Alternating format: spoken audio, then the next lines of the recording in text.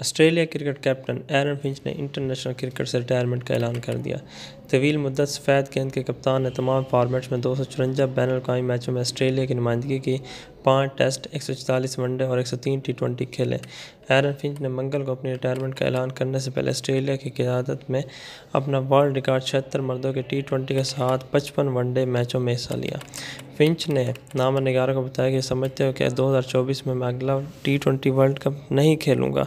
अब अहदा छोड़ने और टीम को एक अच्छी मनसूबाबंदी करने के लिए एक अच्छा वक्त है।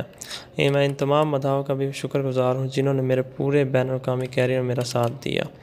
2011 में इंग्लैंड के खिलाफ टी ट्वेंटी बैन अवी डेब्यू करने के बाद फिंच ने 8,804 रन बनाए जिसमें सतारह ओ सेंचुरीज़ दो टी ट्वेंटी सेंचुरीज़ फिंच ने गुजशत साल सितंबर में वनडे से रिटायरमेंट ले ली थी लेकिन टी ट्वेंटी में वो ऑस्ट्रेलिया की आदत करते रहे। दाएँ हाथ के खिलाड़ी का आखिरी बैन अवी मैच इस टूर्नामेंट में हुआ जब इसने सबसे ज़्यादा तिरसठ रन बनाए जब ऑस्ट्रेलिया ने आयरलैंड को बैतालीस रन से शिकस्त दी लेकिन वो सेमीफाइनल के लिए क्वालिफाई ना कर सके। फिंच अपने लेवल का एक बेहतरीन खिलाड़ी रहा है और उसने 2018 में हरारे में जिम्बाब्वे के खिलाफ सिर्फ़ छिहत्तर गेंदों पर एक सौ बहत्तर रन बनाए और एक टी ट्वेंटी में सबसे ज़्यादा स्कोर करने वाला रिकॉर्ड अपने नाम किया।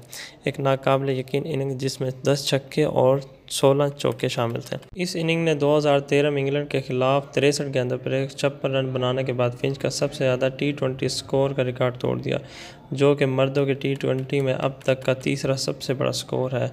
फिंच को आने वाली क्रिकेट में सबसे ज़्यादा याद किया जाएगा, क्योंकि वो एक जारहाना और एक मुश्किल मिजाज कैप्टन के तौर पर समझे जाते थे, और ऑस्ट्रेलिया इस चीज़ को बहुत मिस करते हुए अपने नए कैप्टन का इंतखब करेगा, जो कि एक ज़बरदस्त बैकअप प्लान रखते हैं। वीडियो को लाइक कर दीजिएगा, शेयर कर दीजिएगा और सब्सक्राइब चैनल लाजमी कीजिएगा ताकि हमारी हर आने वाली वीडियो आपको वक्त पर मिलती रहे।